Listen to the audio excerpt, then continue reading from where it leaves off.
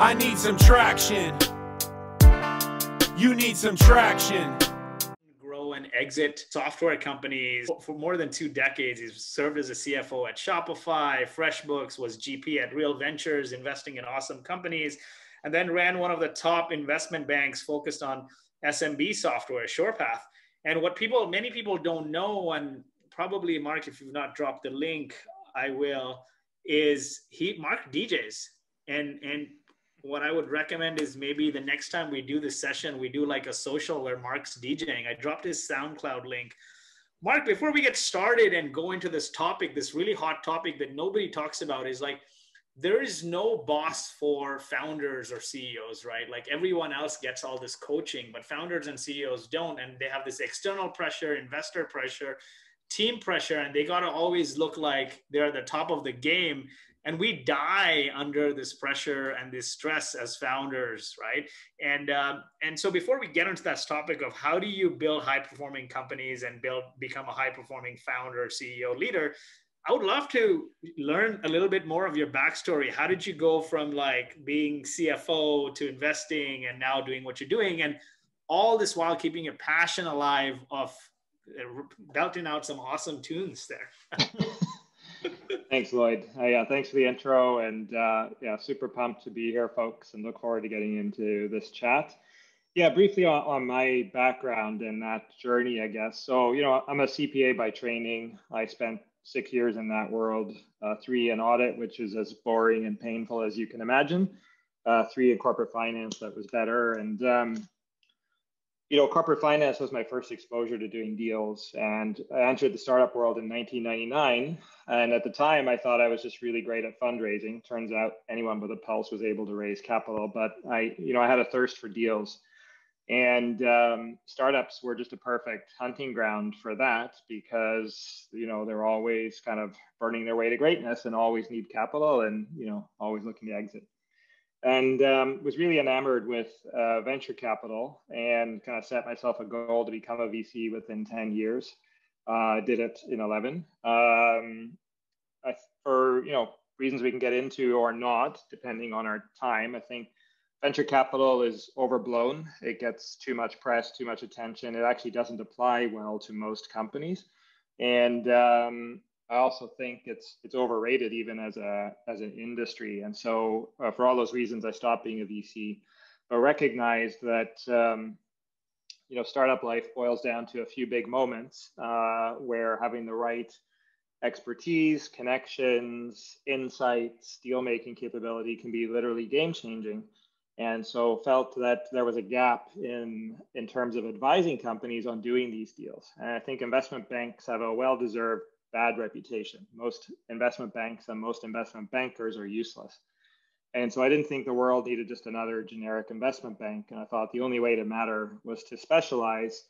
And so we went super deep on a space that I knew really well, which was uh, SMB SaaS, and, and built arguably kind of the leading deal maker in that space. So it's just been a natural evolution focused on a, a true passion for doing deals and a true passion for kind of advising uh, CEOs, which is a thing I'm, I'm going to get into in the, the talk. And and as for the music thing, I don't know, that's that's a whole other thing. But uh, that's just been a lifelong passion. Um, something I'm going to talk about in this chat is actually the importance of fun, uh, which I think a lot of us adults forget about.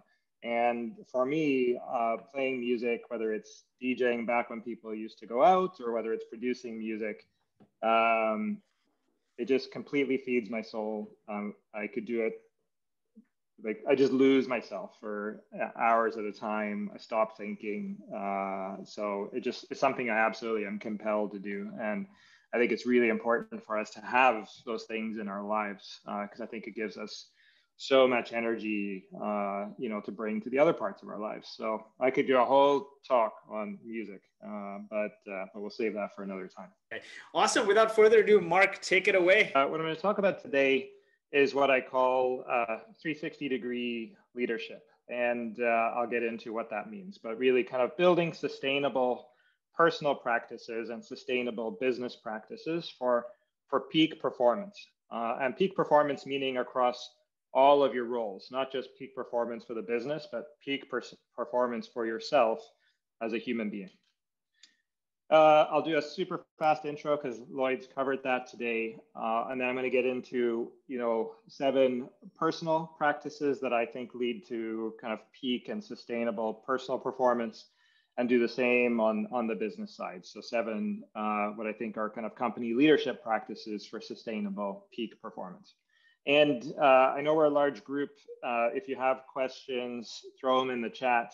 Uh, there's an hour for this chat. Uh, I will not take a full hour, uh, and so there'll be lots of time at the end to, to go through your questions. Uh, so very briefly, um, Mark MacLeod, I've been in the venture-backed startup world since 1999. Uh, spent 14 years as CFO for a number of venture-backed software companies, most notably Shopify. I was there for a brief but instrumental period, kind of through the Series A and then the internal Series B. Um, uh, FreshBooks, where I led uh, finance, biz dev, and corp dev. In between those two, I was one of the original general partners in Real Ventures, which was and still is uh, Canada's largest independent seed stage venture fund. Spent five years founding and running SurePath Capital Partners, a leading boutique investment bank for SMB software. And for just a, about a year now, have been uh, serving as a coach and advisor uh, to the CEOs of venture and private equity backed uh, startups. Um, and we've also covered the most important thing, which is I'm hugely passionate about electronic music, specifically uh, Deep House.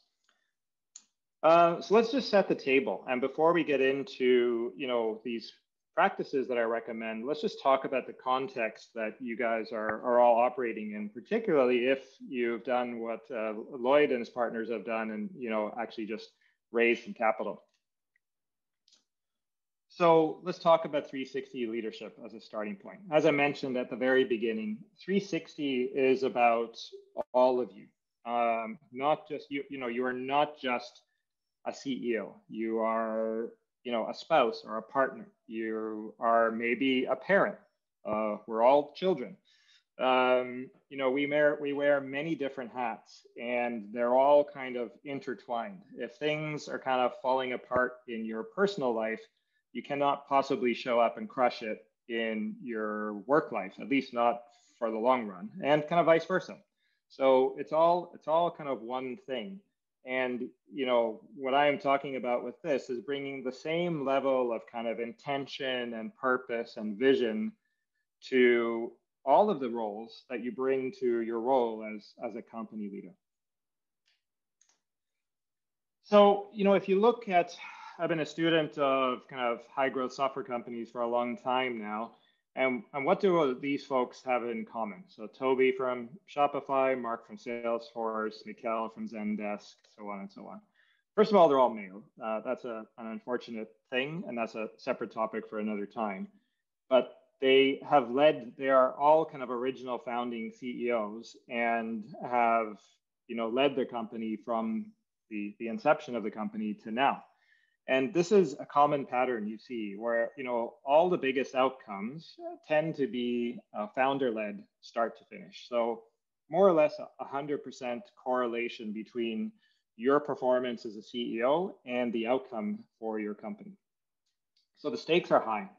And uh, you know, this is something I've, I've, recognized pretty early in my startup career, and uh, is actually sort of my purpose. You know, whether I was like a, a CFO serving as a right hand to a CEO, trying to give that person maximum leverage, whether I was a VC investing in CEOs or a deal maker trying to help them achieve biggest outcomes, I recognized just that huge correlation between that person's performance and the company outcome and therefore just wanted to give that person kind of maximum leverage. So this is like a there used to be a time, you know, when I first got into the space where, you know, founders would take it so far and then the VCs would quote unquote bring in professional management.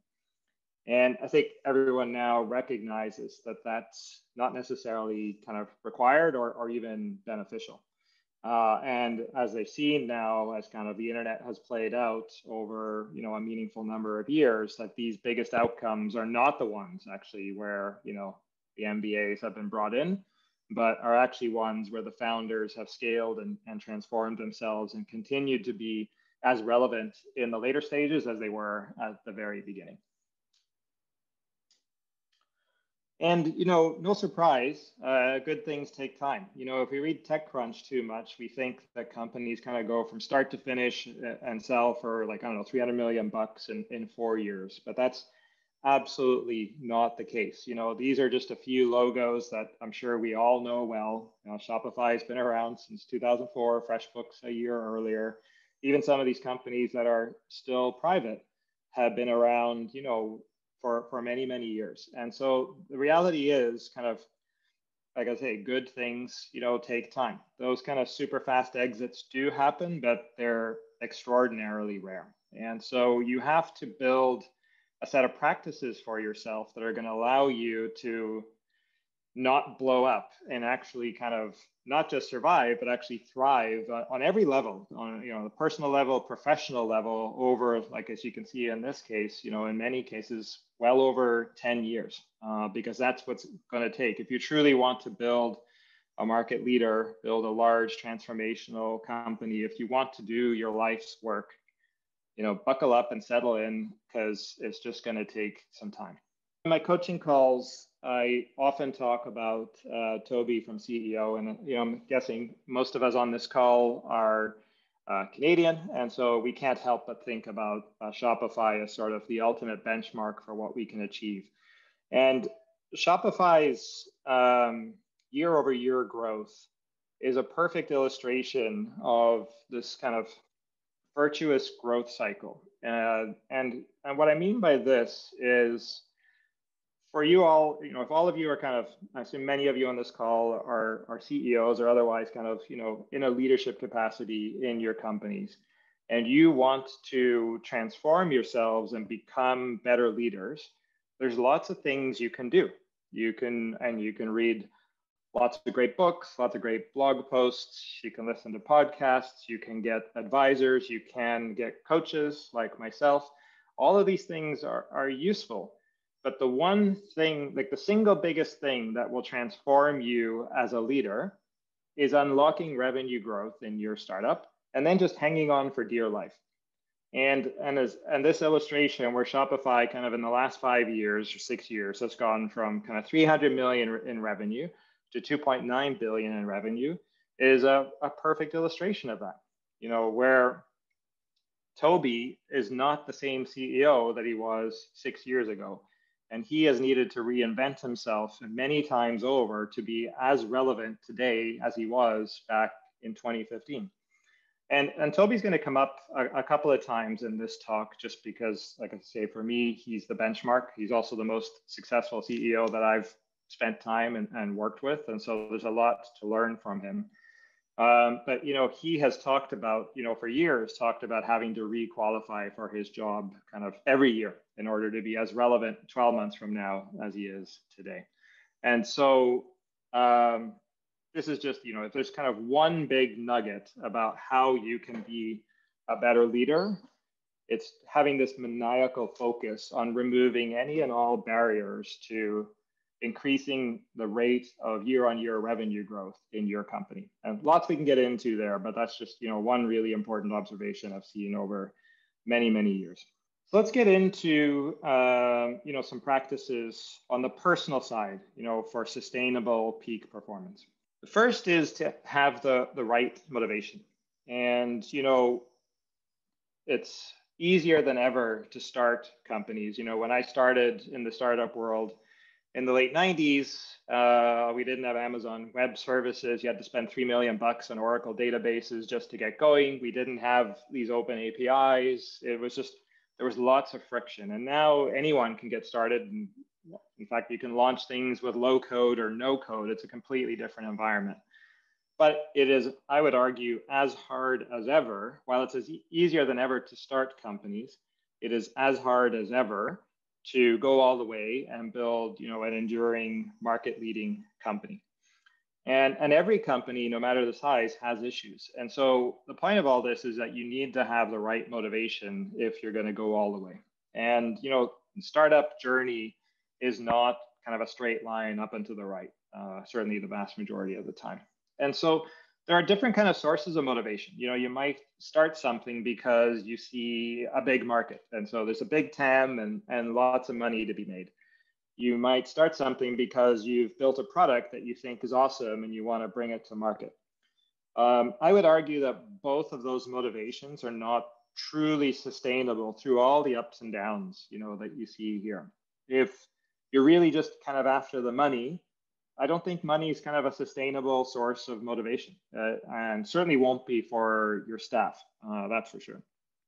And if you're in love with your product, the risk there, uh, or you know, in love with the solution that you've built for the market, the risk there is you you know start to have a closed mindset, and you're just so fixated on what you've built that you kind of don't have an open mind to kind of evolve and kind of yeah, iterate on what you've built to kind of grow and kind of evolve with the market itself. And what I've found is kind of the only truly kind of enduring motivation is to be just completely in love with the problem. You're just so fascinated by the problem that your startup is, you know, pursuing that you just you'll keep working at it. You know, I talked about when Lloyd and I were chatting at the start about how passionate I am about electronic music and I just spend hours and hours and hours on it. I'm completely fascinated by it. I can't learn enough about it. I can't spend enough time on it. It's that kind of uh, motivation that I think gets you through all the inevitable ups and downs in the startup world as well. And there's a, a Japanese concept uh, called ikigai that you, you may or may not have heard of. But if you find something that the is at the intersection of what you love, what you're really good at doing, what you can make some money doing, which implies is something that, that the world needs, and you've truly found your sweet spot where you can truly do you know your life's work and kind of settle in for the long haul.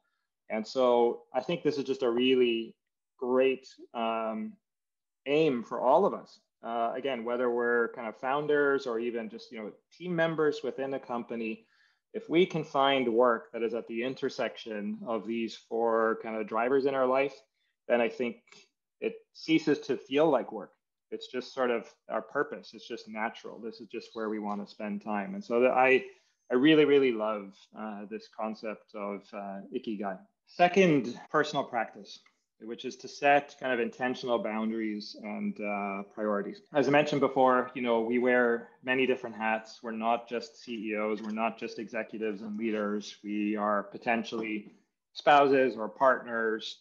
We may be parents. Uh, we may be well, we're definitely children. We, we all have parents, uh, whether they're alive or not. And, um, and so there's many, many demands on our time. And what I have found is that work will expand to fill all available time. And if you do not intentionally carve out space for those other roles, if for instance your marriage or significant, you know, relationship is really, really important to you, but you don't actually carve out time and intention and effort for it, work will just suck up all of that time. Uh, that is that is a hundred percent for sure. And you know, if you look at the success rate of startups, you know, I don't know what the actual stat is, but you know, if you think within like the whole venture model is predicated on if I make 10 investments out of a venture fund, one or two of them are going to be home runs maybe two or three I'll make a double or a single, and the rest I'll probably lose my money. That's a pretty low success rate. And um, and so for you all as founders or leaders within companies, just recognize that hey, this startup may or may not work out. And so at the end of it, when I look back, will I have regrets about um, how I've spent my time? You know, while I look back and say I put every ounce of my attention and effort and energy into this company at the cost of other things that are important to me my primary relationship time with family friends uh, etc um, and and if so what do i need to do now so that i don't have that regret?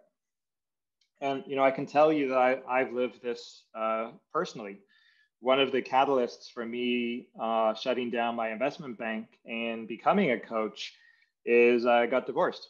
And, uh, you know, this happens about 50% of the time. Uh, we just grew apart.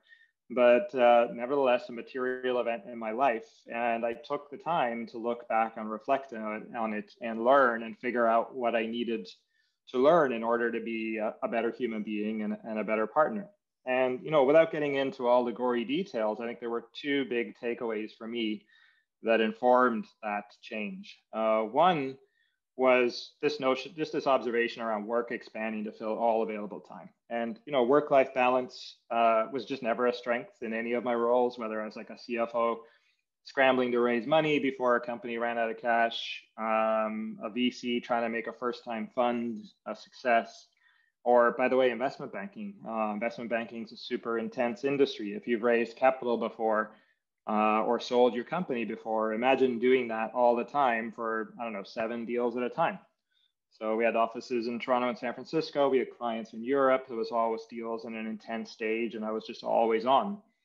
And my Air Canada status went up every year, and you know it wasn't sustainable. And I found that um, even when I was home, I might have been physically home, but I was not mentally home. I was not fully present. I was checked out. I was either burnt out or stressed or thinking about the deals and planning for my next moves and the next day. And that may resonate with many of you. You may just be so consumed by, you know, trying to make a success out of your startup right now that you find you just don't have the energy and presence to give to your other roles. And you know, I have learned myself that um, that's an issue. You know, uh, and and I would say, you know, if you do decide to go all in and just commit all of yourself to your role as a startup founder, do so with intention. Do so, just own it and know, like, okay, I am doing this. I am intentionally setting aside um, these other roles that histor- historically have been important to me and, and you know, may not be now.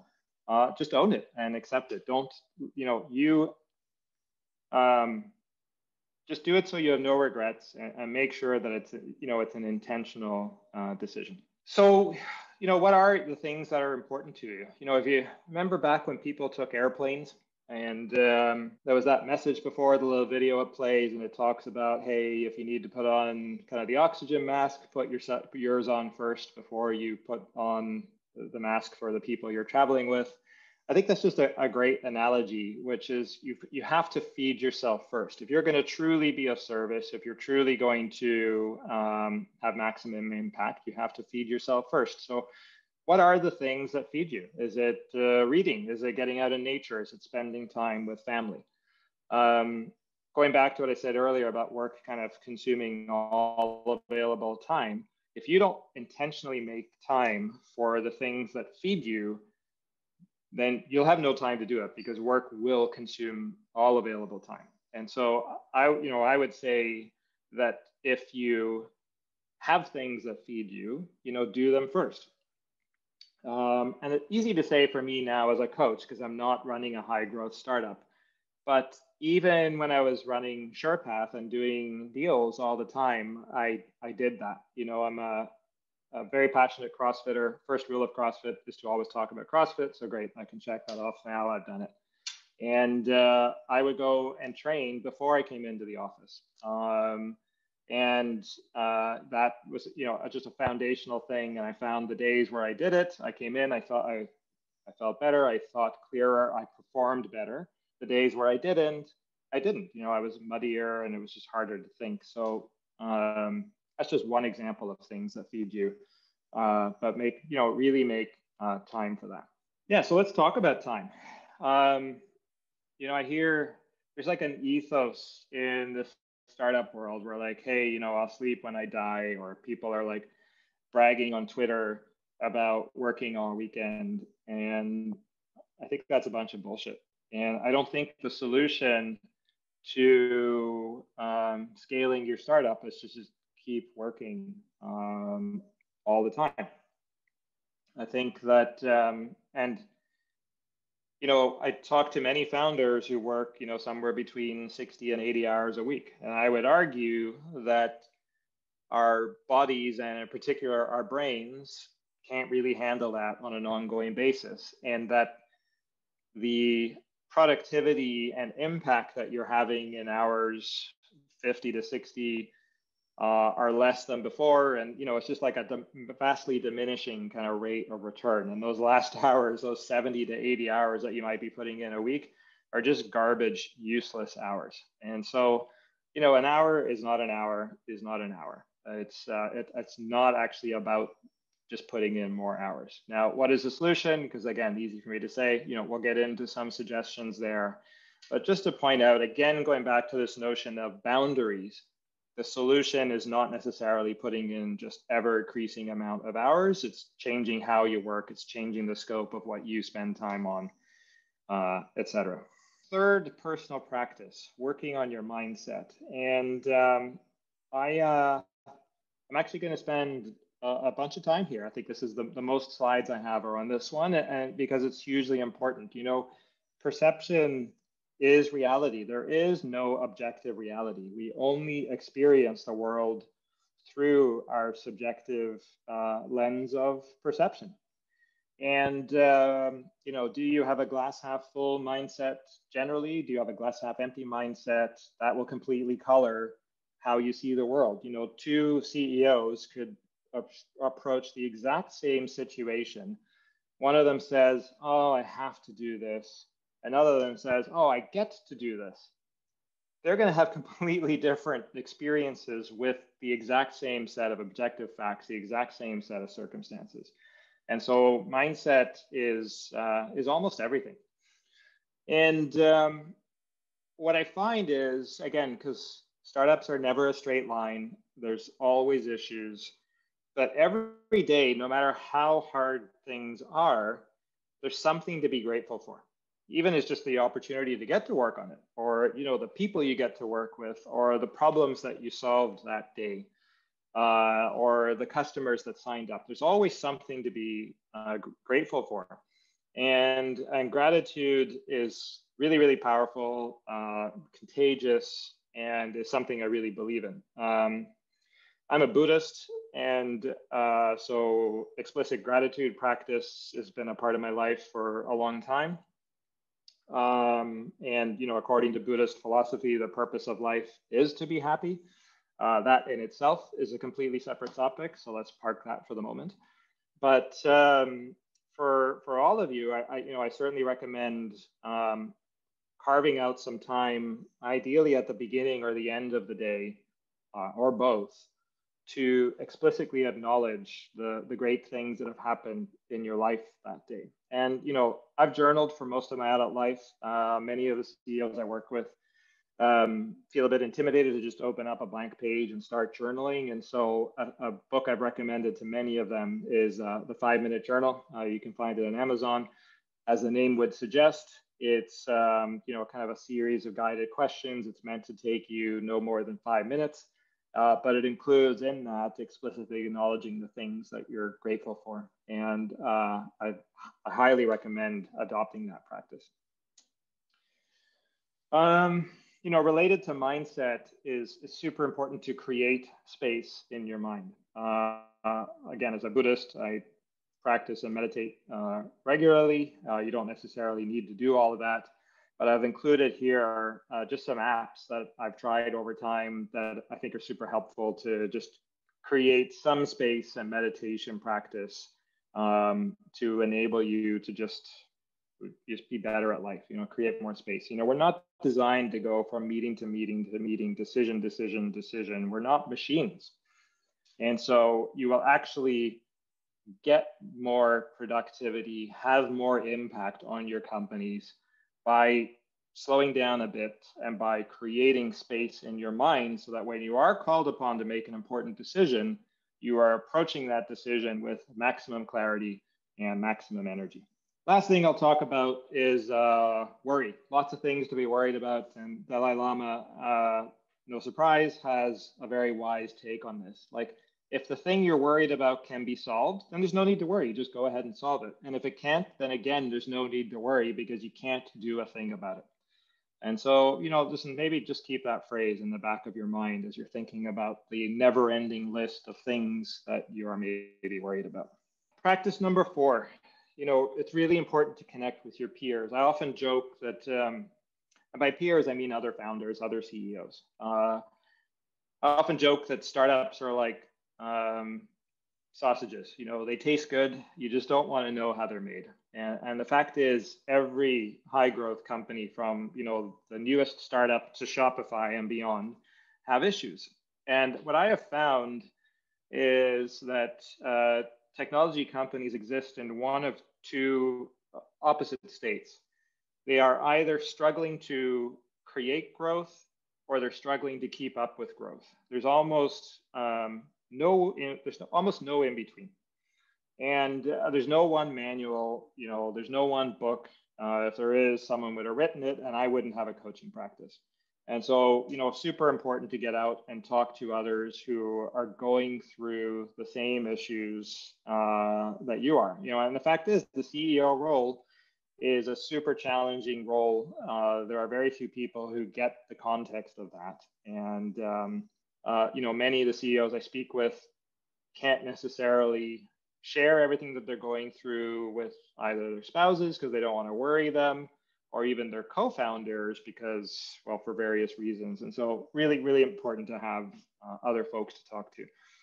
Interestingly um, almost all of my ceos are part of some sort of either formal or informal ceo peer group. And so whether that's things like uh, PeerScale uh, here, I don't think they're across Canada, but they're certainly in Toronto, uh, or just informal networks, that's a great way to kind of have this a trusted space, meaning it's confidential. You can say what's on your mind and know that it's not going to leave the room and you know hear the perspective of other CEOs just you know super valuable.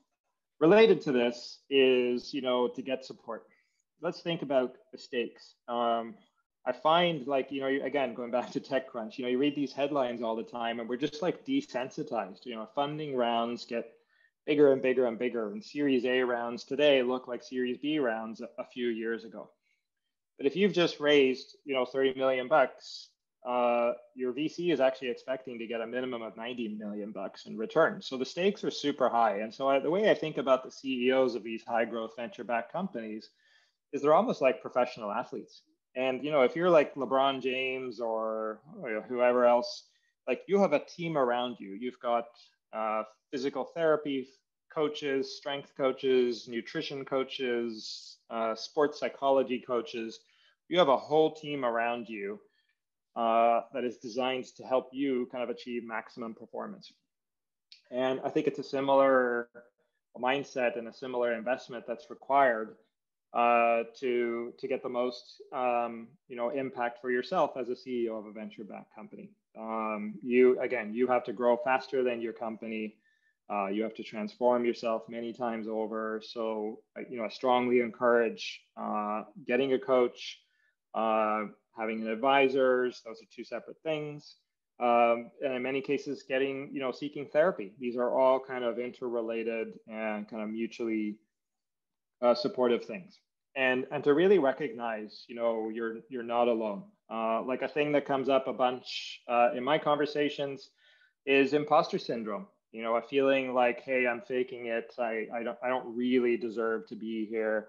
People can see through me and see that i don't know what i'm doing. You know many founders um, are intimidated by the notion of hiring you know vp or senior c level people who are truly kind of subject matter experts in their specific domain and, and the fact is, and maybe this is cold comfort, but um, imposter syndrome is universal. You know, even folks that are have achieved you know massive amounts of success experience it because by definition if you are out there doing something new and you if you are out where you have never been before then it's it's new and it's intimidating and you're always going to feel a little bit of that. But just to recognize that you know you can grow faster than your business. And again to recognize that everyone has experienced this at some point in their life is uh, is comforting i find.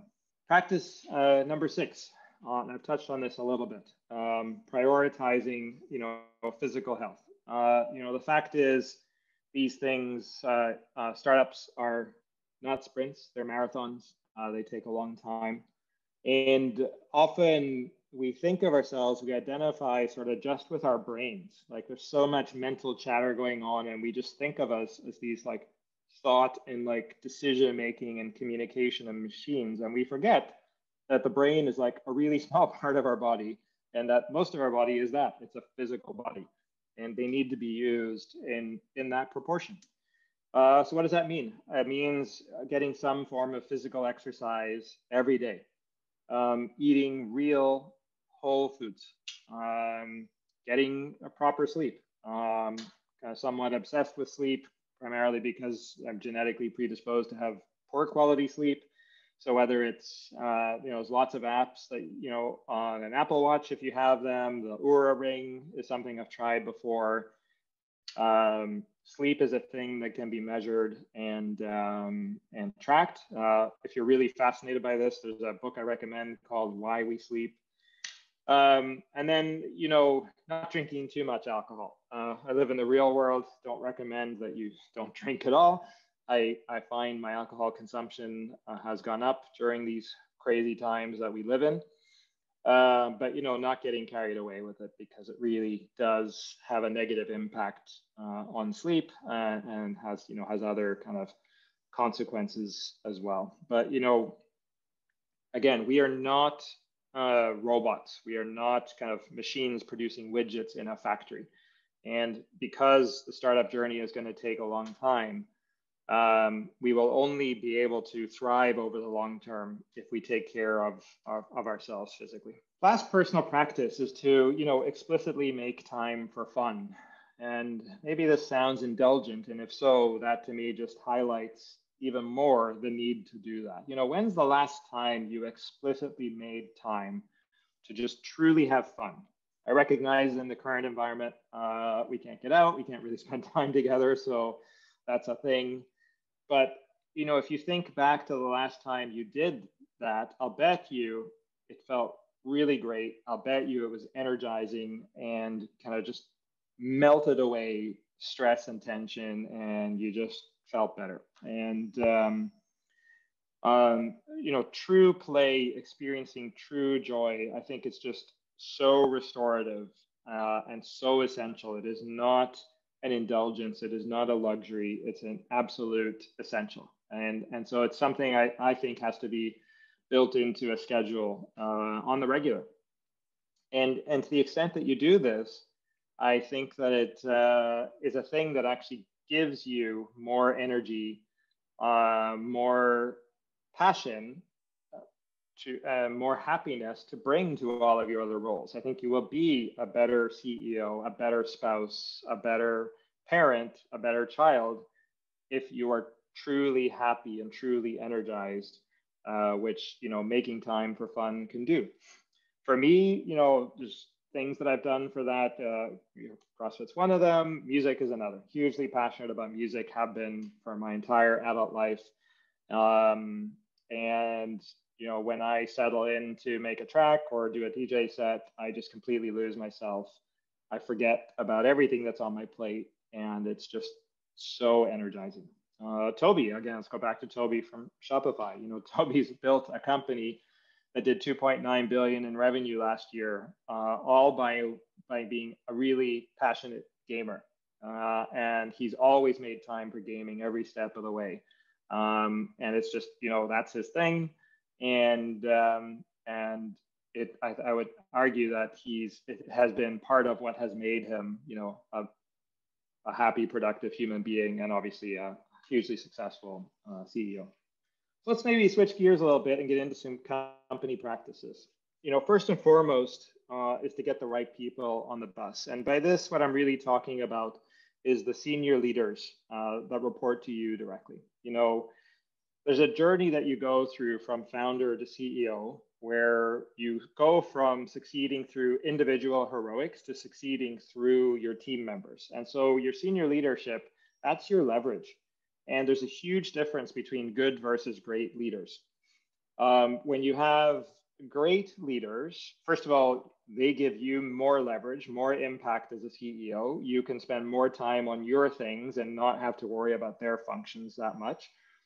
But I think more fundamentally to the scaling of the business, really great leaders are like magnets for talent. They raise the bar, and then really great people want to work for and work with them. And you know, conversely, if you settle for a good leader, like an okay leader, they're less of a magnet for talent. And guess what? Like talent is super smart and they can tell when someone's not like an A level leader. And whether you realize it or not, by settling for that person, you are sending a message to your entire company that good is okay, that it's okay to just have someone who's good and not to, you know, hold out for someone that's great. Um, and you know, in the same way that you need to grow faster than your business every year, you've seen your senior leadership team does as well. So I cannot overemphasize the importance of this. You know, in my coaching relationships, you know, once we onboard and kind of kind of get the current state of the union of the CEO and their business and kind of deal with any burning fires, the next thing we turn our attention to is assessing the senior leadership team and figuring out if there are any changes that are need to be made. It's literally the first thing we get to uh, after the initial onboarding. Second is to align, so second company practice is to really invest in aligning uh, your leaders and your company. And there's a different difference between alignment and agreement. Agreement is we literally all agree to take the same decision. We all have the same point of view. Alignment is we have these differing points of view and we express them, and there's a debate. But then at some point, a call is made and we align behind that, whether we fully agree with that decision or partially agree with it or don't agree with it. And the only way to kind of move forward with velocity is to have alignment, you know, versus holding out for agreement because it's hard to get that all the time. And, um, you know, values and mission uh, sort of give us purpose. I think more than ever, uh, people are looking for purpose, they're looking for meaning. I think this was true even before COVID, but now with COVID and most companies being remote first, talent is more portable than ever. And so I think all else being equal, they want to work for a company that has true meaning, true purpose, and so, really making values uh, and mission and vision come to life and be real for your company is um, is hugely important.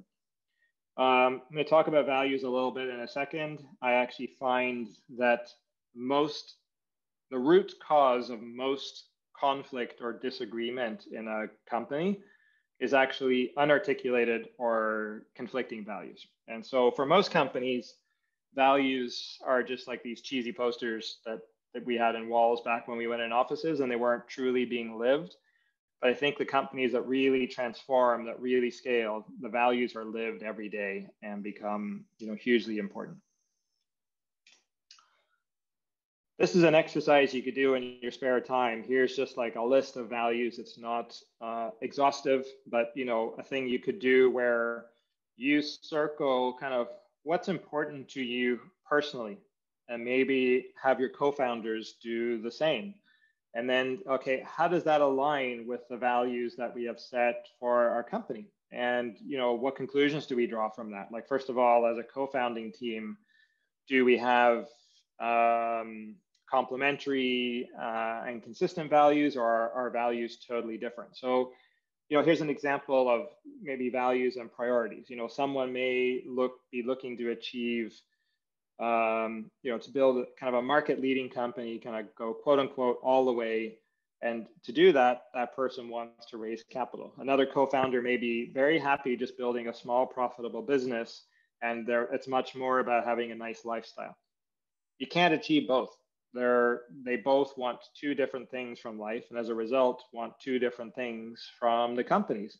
And so kind of explicitly articulating that and capturing that in values up front can save folks um, a lot of time and a lot of heartache. And values ultimately are the things we're not willing to sacrifice uh, as individuals and as a company. They're things that are kind of super important to us. And so i think really spending time to explicitly acknowledge them, capture them, and then live by them is, is really important. Related to, uh, so third pr company practice, and this is very much related to getting alignment on vision, mission, values, et cetera, is to just really invest in communicating. And, you know, as your company grows, your job will just more and more be a communications job. You may think it's a nuisance, it's not, it's the job, period, full stop. And you know, when you're in hyper growth mode, and you're hiring new people every week, if people haven't heard from you in a month, then there's like a whole chunk of people who've like literally never heard from you.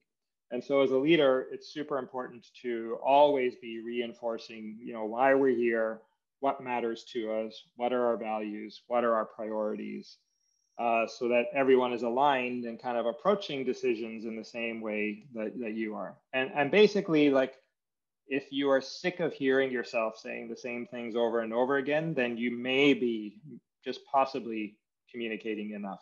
Um, that's how high the bar is here. Practice four, you know, operating at the right altitude. Um, many CEOs, when they come to work with me, it's because they're just, they've reached the breaking point and they can't possibly scale anymore and they're just blowing up. And there's lots of reasons for that, uh, but I would argue in many cases they're contributing to this. And you know, either they are unable to let go of things that they used to do, and or going back to what I was saying earlier about the importance of your senior leadership team, uh, they don't have the right leaders in place. And so as a result, um, they are having to get more involved than they should be. And so, you know, Fred Wilson from Union Square Ventures uh, many, many years ago articulated what I believe to be just the best definition of the role of a CEO, and I've put it here. It's really just doing three things. First is to set the overall vision and communicate that over and over again. Second is to build the best team possible. I would actually refine that further just to hiring the best senior leadership team possible, i.e., just focusing on the people that report directly to you. Because if you do that and you hire the absolute best possible people for your stage and resources, they will be a magnet that will bring in, you know, really great people beneath them. And then the third thing a CEO does is just making sure that they never run out of cash. And so, you know, an ideal world, once you're into scaling, all of your time should be in one of these three buckets. Uh, and if it is, you know, then you truly can uh, scale yourself as CEO. So, uh, which brings up kind of scaling decision making. So, you know, your calendar may look something like this, where it's kind of meeting to meeting. Sometimes you're double booked.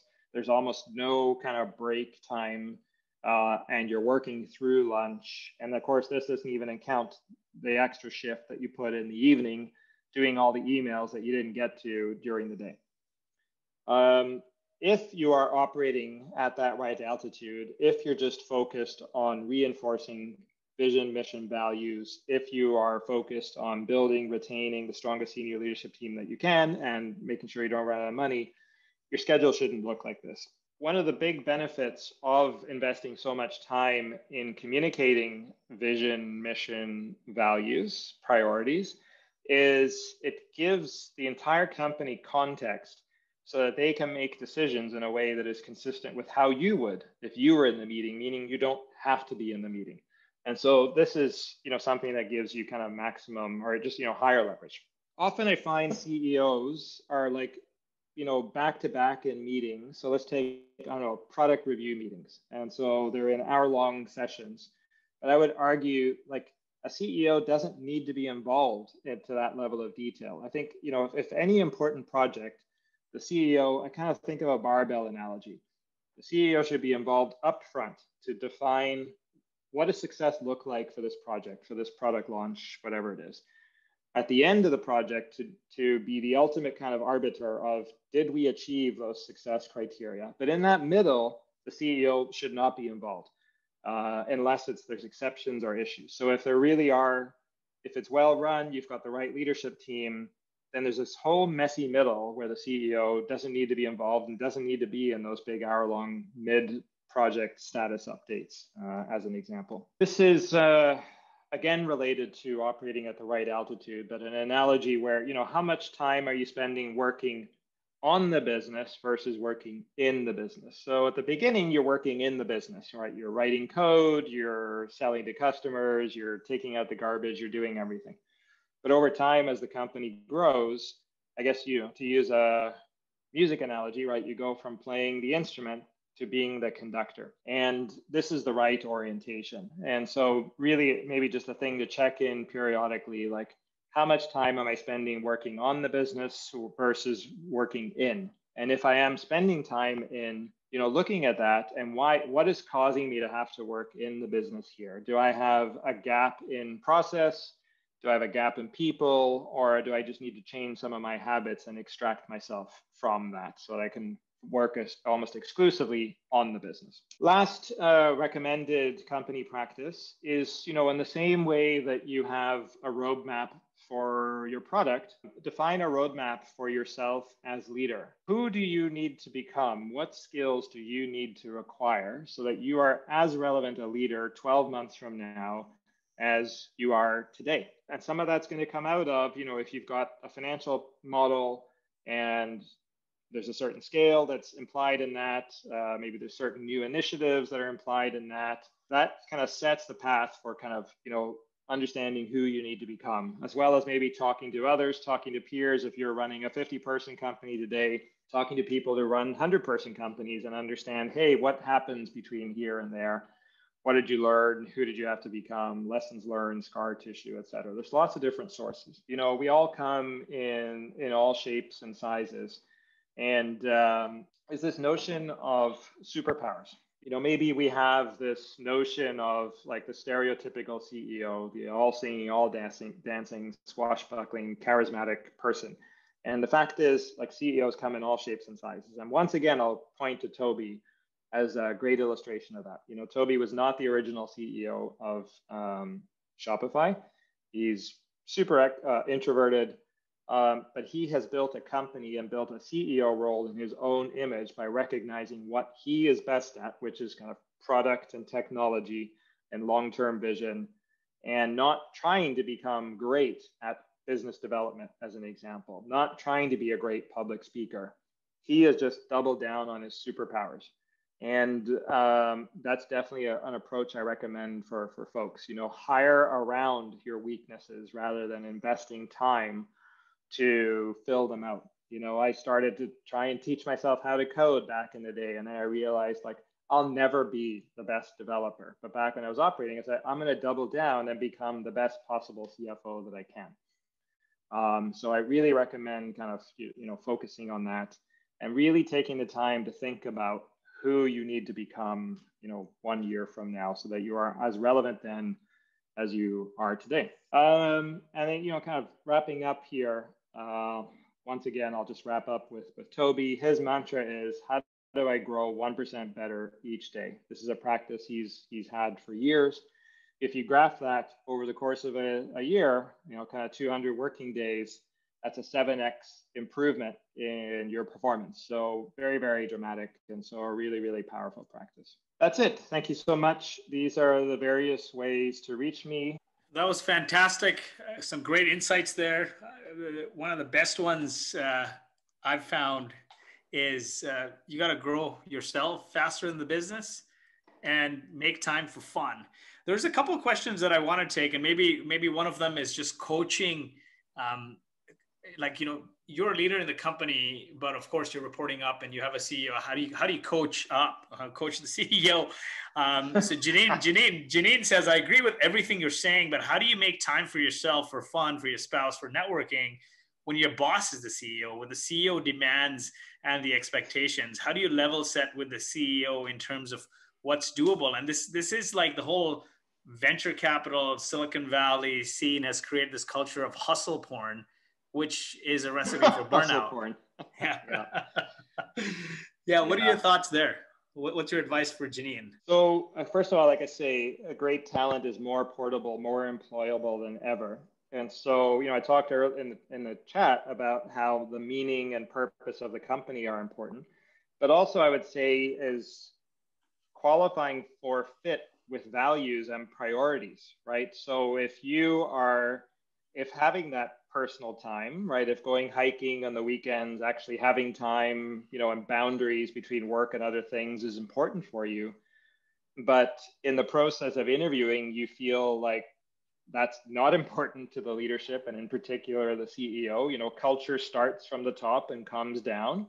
And it's not what people say, it's what they do. So if the CEO has no boundaries and if the CEO is I don't know, had three spouses or like whatever, their life's falling apart, then expect that you're going to be out of alignment. And maybe look for companies who have a much better fit with uh, your values. You know, I, I, I really I basically don't compromise on values and priorities fit. You know, don't feel like you like if you join that company and you know going in that the CEO has zero work life balance, don't expect to have work life balance. I find there's sort of like this uh, this sad reality where CEOs are just like overburdened, overwhelmed, have too much on their plate, too much responsibility, and then staff are sitting there dying for like more responsibility. Give me more, give me more work, right? It's tragic. And so I think part of the solution to this, even before you've built your senior leaders, is like switching gears as founders and like pushing everything down. Even though you might be better at it, the best way for you to grow um, your team is to expose them, help get them to put the reps in, right? You become great at something by being shitty at something and keeping going, right? And so I did the same thing at SurePath. You know, like I was by far the oldest person in my company. I had the most experience. I could have easily built the most accurate models for our companies, but I'd never built a model.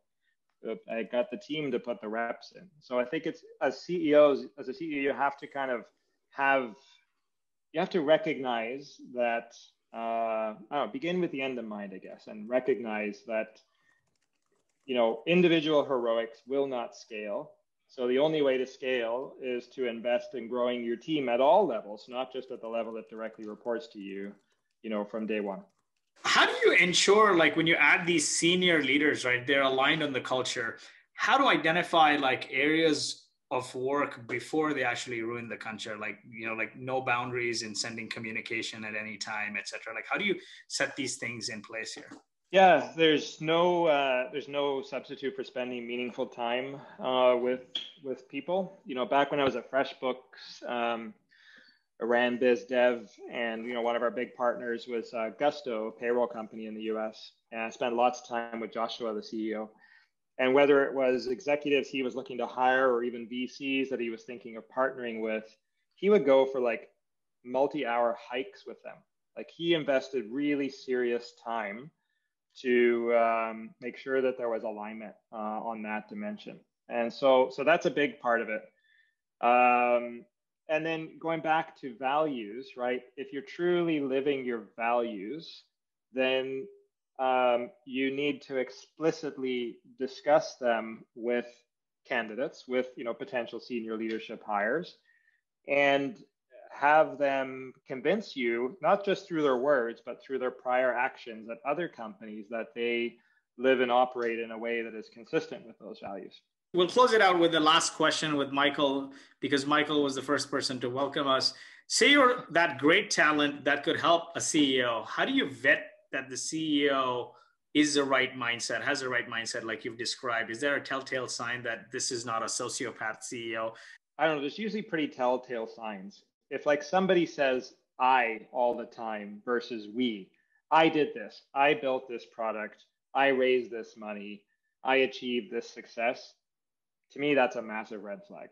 I think, you know, versus something talking about we built this product, you know, I so I think where it's all about the individual versus the team, that that for me is kind of a, a, a red flag, you know, for sure. And you know, I think you have to really like the person. You know, so you're going to spend, you know, if you're on the senior leadership team and you're reporting to that CEO, you're going to spend more of your waking hours with that person than with your like spouse or partner.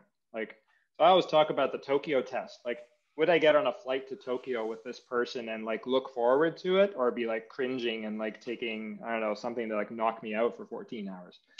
Uh, that to me is a telltale test of whether I truly want to work for this person. Yeah, great achievements and companies are a result of many, and the best leaders succeed by enabling the success of others. One last question here to close it out. We're a little over the top of the hour. If looking back on your career, what do you wish you did more of, and what do you wish you did less of? Man, awesome question. I don't know. I you know it's it's all been a journey. I wouldn't want to be any any place other than where I am now. Um, you know, ironically, I bought my first book on coaching in 2002, but concluded I lacked the gray hair and moral authority to really crush it as a coach. So I kept grinding for a while. But I'm super grateful for being where I am now, and I'm I'm happy I've been on sort of every side of the equation, from an operator to a VC banker, and now this. Um, if I was just thinking about dollars and cents, I should have stayed at Shopify. I shouldn't have left to kind of go to Real Ventures, that's for sure.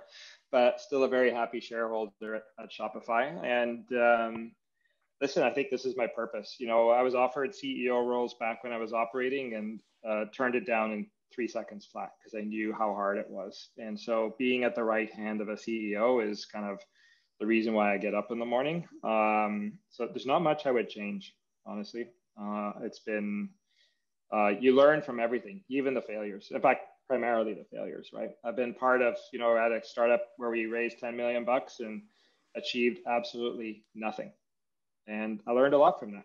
Right, so it's all it all moves you forward. Awesome, that was fantastic. Great insights. Thanks so much, Mark, Thanks, for joining everyone. us. Thank you.